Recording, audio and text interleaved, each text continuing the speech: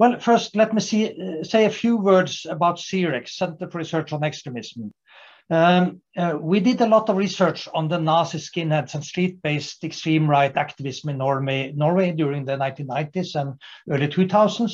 And when these uh, youth subcultures disappeared, so did research in the field.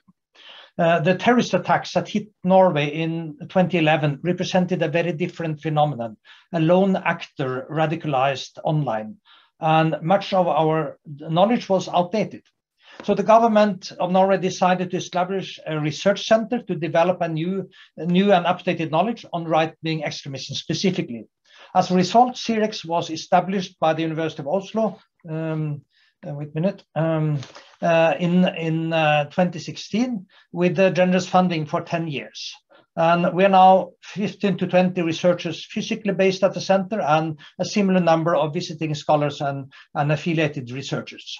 We, we focus on five main research themes that are uh, terrorism, violence and hate crime, parties and movements, ideology and identity, gender and extremism, and prevention and intervention.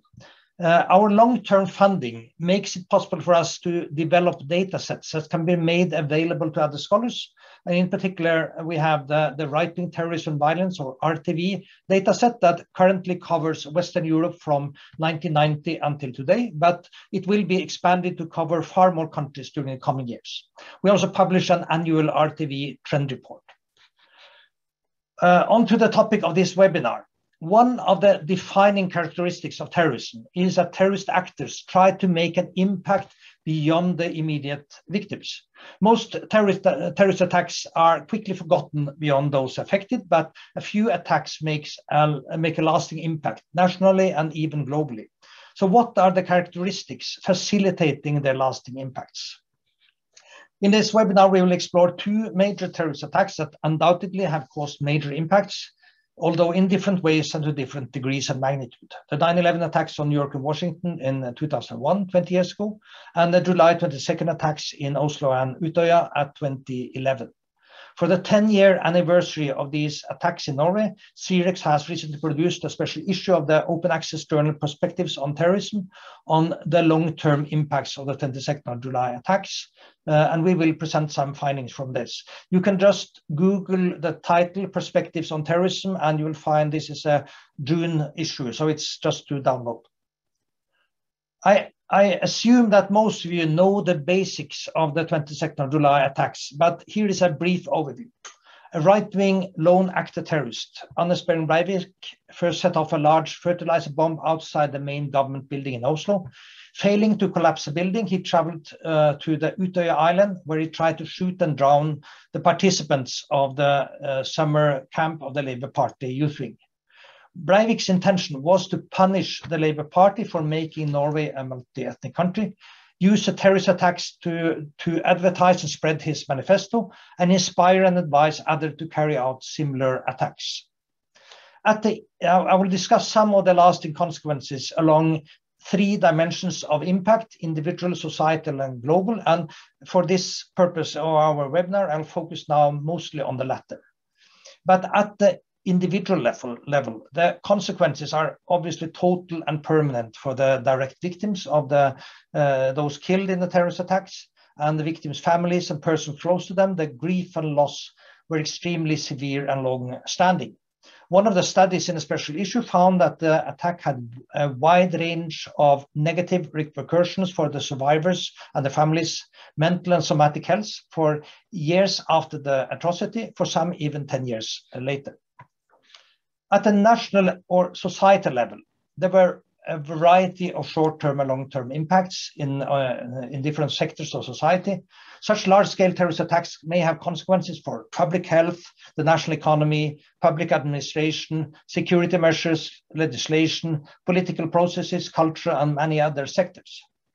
Uh, those present at Utøya during the attack, mostly youths from uh, in their teens from and, and early 20s, came from local communities virtually all over the country. And one out of four Norwegians knew someone victimized directly or indirectly by the attacks. So our sense of safety in Norway was shaken. The physical destruction caused by the bomb attack on the government district of Oslo was immense. Several ministries and the Prime Minister's office had to be relocated to other parts of the country, uh, other parts of the city, and still remain so. The, the total reconstruction of the government district will take at least 15 years after the attack at enormous economic costs. Failures to present or handle major terrorist attacks typically lead to political and administrative changes. Uh, the Norwegian police were severely criticized in a report of the 22nd of July Commission, pointing out several blunders and deficiencies, implying that many lives could have been saved if the police had been better prepared and had performed better.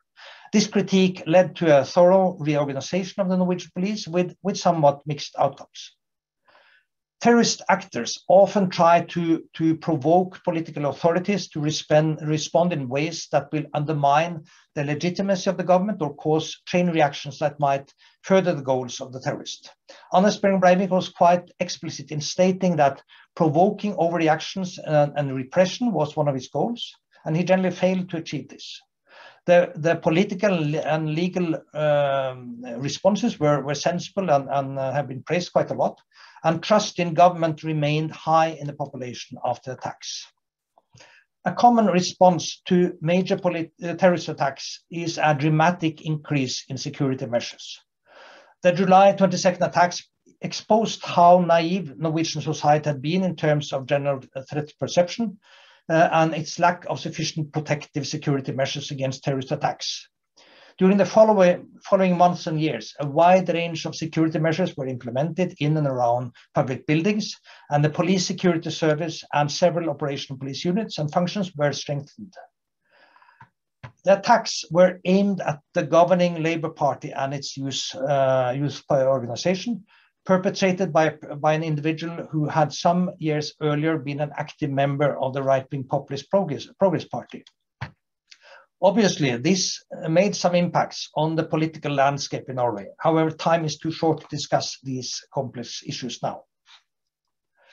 Global impacts of terrorist attacks are less common, but some attacks have transnational repercussions, including security politics, global economy, traveling patterns, international law, human rights, and research agendas the emergence uh, of international uh, live television news, the internet and a variety of social media channels increases the potential global impact of terrorist attacks and the capacity of terrorists to communicate their messages to international audiences through graphic images and verbal manifestos.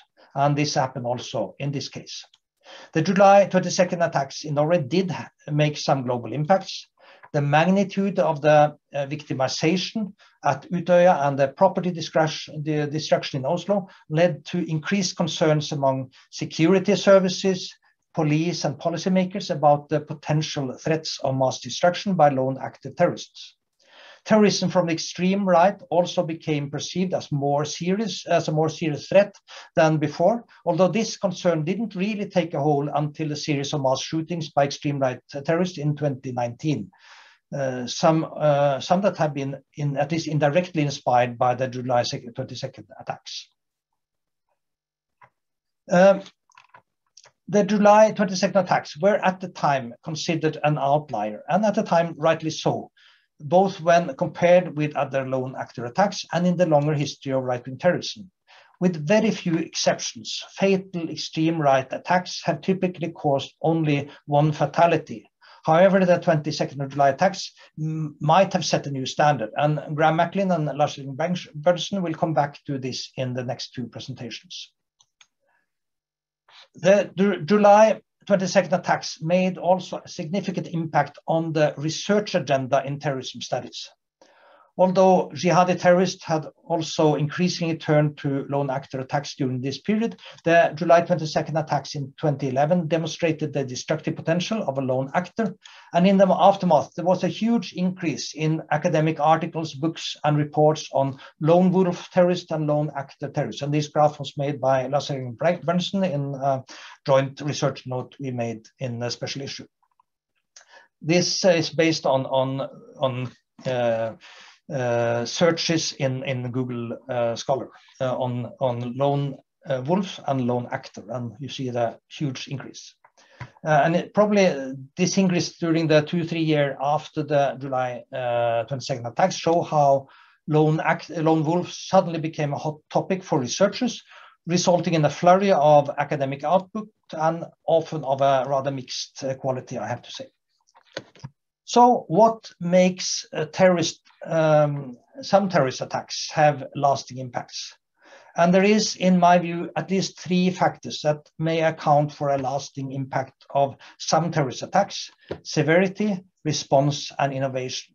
And the first one uh, is uh, that one obvious reason is that terrorist attacks with large-scale destruction and with a high number of casualties will make for greater and more lasting impact than small-scale attacks. However, some small-scale hate crimes may have also may also make major impacts for other reasons. For example, the racist knife murder of a black boy, the black boy Stephen Lawrence in, in London in, in 1993 had a great and lasting impact as well. Widespread outrage over faulty police investigation and the reluctance of the police to consider the racist dimension of the attack led to a public inquiry, the Macpherson report, concluding that London's Metropolitan Police was marred by institutional racism. And this issue is still haunting the English police and its relations with minorities. So severity is not alone sufficient to make a lasting uh, impact. The nature of the responses to terrorist attack is also decisive. Um, uh, terrorists usually want to provoke certain types of responses, such as overreactions or failure to respond adequately, that can undermine the legitimacy of the government or the enemy. However, terrorist attacks do also uh, backfire sometimes, uh, bolstering opposition to the uh, terrorist cause and increase support for the authorities. So overstepping the limits of acceptable violence may lead to backlash among potential supporters. And finally, innovation. Terrorists uh, generally try to make news. However, if terrorist attacks repeat themselves, such attacks may over time lose some of their newsworthiness and impact. So terrorists try to avoid this trap by innovation. Uh, examples are the poison gas attack on the Tokyo subway. Uh, we had the suicide attacks with hijacked airplanes on the iconic buildings in, in the US uh, 20 years ago. And the innovation may also be in terms of attack methods, but also in terms of targeting. For example, attacking, attacking sports events during the uh, Munich Olympics in, in, in 1970 two was it uh, the and the Beslan school siege or the, um, the uh, attacking school children or also the uh, political youth camps as happened on Utøya. These examples illustrate the shock effects of such unprecedented attacks. I will stop uh, there and leave the words to my colleagues. So thanks a lot for your attention.